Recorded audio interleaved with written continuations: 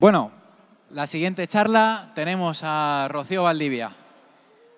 ¿Qué decimos de Rocío? También está en multitud de WordCamps, lidera el equipo internacional que supervisa traducción, comunidad y eventos y está en todos los saraos, vaya, natural de Osuna y nos viene aquí a contar por qué son importantes estos eventos. Adelante, Rocío. Gracias, Carlos. Hola a todos. Mi nombre es Rocío Valdivia y nada, es un placer para mí. Trabajo en WordCamp Central desde hace ocho años. Tengo el honor de trabajar en Automatic y ser donada full time para ayudar a hacer crecer esta comunidad tan bonita de WordPress en el mundo. Eh, ayudamos a mentores, a organizadores de meetups, de WordCamps, eventos en general de la comunidad de WordPress y vengo a hablaros un poquito sobre por qué son importantes este tipo de eventos y todo lo que se ofrece dentro de la comunidad de WordPress. Así que voy a hablar de tres cosas principales hoy que es por qué nos juntamos, tipos de eventos y los eventos de nueva generación. ¿Por qué nos juntamos como comunidad? Pues nos juntamos en cualquier evento al que vayas, da igual de la comunidad que sea, porque quieres aprender, porque quieres conectar, quieres hacer contactos, quieres inspirarte, colaboramos y sobre todo porque compartimos algún interés en común. Cuando vas a un evento de marketing, cuando vas a un evento de WordPress, de diseño, de lo que sea, ya sabes que tienes algo en común con toda esa gente. Entonces siempre ya hay un icebreaker que, te une, ya tienes un algo, ¿no? Ya tienes una pregunta, ¿y tú qué haces? Porque sabes que esa persona va a estar en sintonía contigo, ¿verdad? Los eventos, en general, online o presenciales, son una parte integral del ecosistema. Al final, gracias a esos eventos, nos alimentamos con un sentido de pertenencia al grupo, nos sentimos que contribuimos de cierta manera apoyando al proyecto, apoyando a la gente, compartiendo conocimiento y crecemos.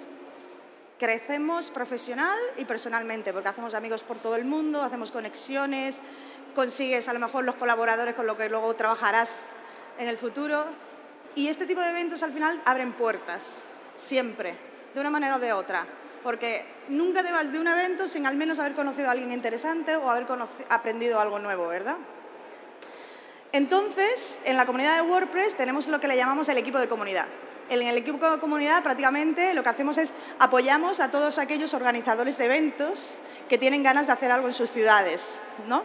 Entonces, hay muchos tipos de eventos de los que luego os voy a hablar, están meetups, WordCamps, etcétera, pero también si tienes experiencia ya organizando eventos, puedes ser un mentor. Puedes ayudar a gente que está empezando, que no ha hecho nunca nada, que, nunca, que está empezando desde cero y puedes compartir tu conocimiento. Eso es otra forma de colaborar y de compartir y de contribuir a esta comunidad. Entonces, contribuir como un organizador de eventos. ¿Quién puede organizar un evento de WordPress? Como este, más pequeño, más grande o quien sea. Cualquier persona.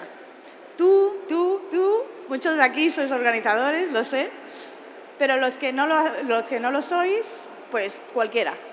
Lo único que pedimos, que son requisitos, es cumple las cinco normas de buena fe, que nosotros evidentemente tenemos toda la información por escrito, tenemos todo, respeta el código de conducta, defiende los principios del código abierto, porque esto es una comunidad de código abierto, y sé puntual. Si organizas un evento, que mínimo que no llegues tarde a tus propios eventos, ¿verdad?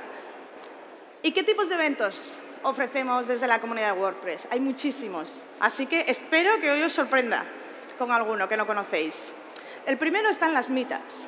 Las meetups son las raíces de las comunidades.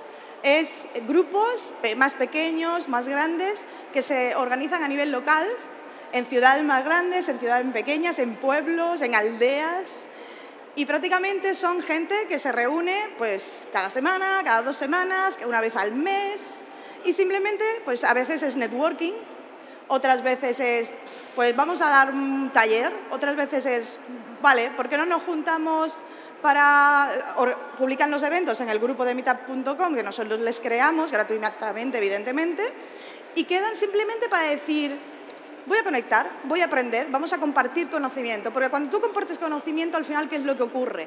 Que todos crecemos profesionalmente. Cuando tú colaboras, cuando compartes lo que sabes, enseñas lo que sabes, aprendes de otra persona, al final aumenta el nivel de calidad del ecosistema. Si todos fuéramos malos profesionales en el sector de WordPress, se perdería la confianza en el proyecto y en los profesionales. Pero si todos seguimos colaborando, compartiendo conocimiento, aprendiendo unos de otros, formándonos, ese ecosistema va a aumentar la calidad de los profesionales del sector y seguirá siendo algo valioso que las empresas valoran.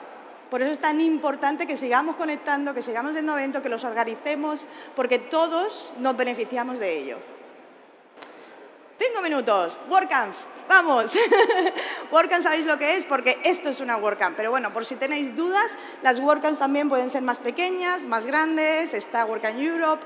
Y normalmente las WordCamps son organizadas en ciudades o en pueblos donde hay grupos activos de meetups, es decir, donde ya hay una pequeña comunidad formada y tienen ganas de organizar un evento más grande. La primera fue en el año 2006, desde, hace, desde entonces han organizado más de 1.100 en todo el mundo también tenemos los días del contribuidor, que son eh, gente que se junta un día entero o unas horas para enseñar diferentes formas de contribuir al proyecto. Por ejemplo, todos usáis seguramente WordPress en español aquí, ¿no? ¿Por qué está en español? Porque mucha gente como vosotros traduce eh, eh, WordPress a español en translate.wordpress.org. Entonces, el día de contribuidor es un día que os enseñan la gente a cómo puede ser uno más de los que colabora. Hay muchísimas formas, en documentación, en diseño, en marketing. WordPress es un proyecto hecho por todos, por, en el mundo entero. Los School Days o Kid Camps pues son días enfocados a formar a niños o a jóvenes o a estudiantes sobre WordPress. Todo esto podéis organizarlo y tenéis toda la información en los enlaces que os pondré ahora. Los eventos Do Action son de mis favoritos, son hackathons en el que la gente se une durante un día, se forman equipos y se crea la web para ONGs o asociaciones sin ánimo de lucro, etc. Entonces, durante un día, gente que se forma en equipos, uno es diseñador, el otro programador, el otro copywriter, etc. Y es divertidísimo porque un equipo a lo mejor de 5, 6, 7 personas sacan la web y la lanzan y a lo mejor es una asociación que ayuda a perritos abandonados, etc. Es muy, muy chulo. Talleres de introducción al open source, y ahora, lo último, que me queda muy poquito, los proyectos de nueva generación.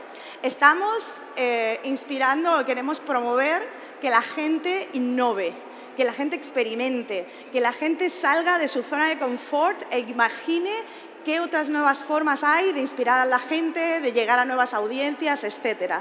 Entonces, queremos que os lacéis a la piscina y penséis, ¿qué tipo de evento me gustaría ir? Y probar ese tipo nuevo de eventos. Le llamamos eventos de nueva Next Gen. Entonces, os invito a todos vosotros a que si tenéis ganas de organizar eventos de WordPress, hagáis formatos innovadores o que os centréis en temáticas. A lo mejor un evento simplemente un día entero solo para diseño o solo para comunicación o solo enfocado en lo que queráis, ¿vale? Eh, o también conectar con otras comunidades que no son de WordPress, por ejemplo, los podcasters que tienen unas comunidades brutales, o enfocados en nuevos asistentes. Y prácticamente porque estamos en una etapa a nivel mundial, en todos los tipos de eventos en general, en la que estamos volviendo a reactivar comunidades a través de los eventos. Entonces, salgamos, innovemos y pensemos un poquito fuera cómo podemos llegar a ellos. Hay muchos ejemplos, por ejemplo, los clubes de debates, eh, ferias de trabajo.